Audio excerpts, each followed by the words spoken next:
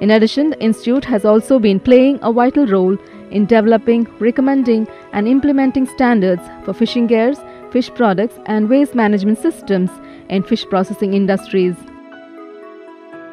The research work of the Institute is put together by the various divisions like fishing technology, fish processing, quality assurance and management, biochemistry and nutrition, microbiology, fermentation and biotechnology, engineering, and extension information and statistics divisions. Sagar Harita, an IRS class vessel designed and developed by CIFT.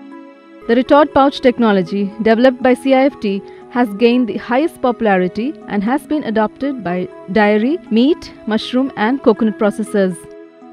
Recent achievements in processing include development of smoked products, minces, and curries. CIFT has developed a method for the extraction of chitin from shrimp shell waste. The wet prawn shell collected from the peeling centers is initially converted into chitin, which is then converted to chitosan by a chemical process of deacetylation. The institute has developed a low-cost, energy-efficient and eco-friendly dryers like solar tray dryer, solar cabinet dryer, solar tunnel dryer, etc. based on solar energy for quality drying of fishes. The Extension Information and Statistic Division of the Institute has taken the honors of coordinating the Government of India's flagship programs namely Mera Gaon Mera Gaurav and Swachh Bharat.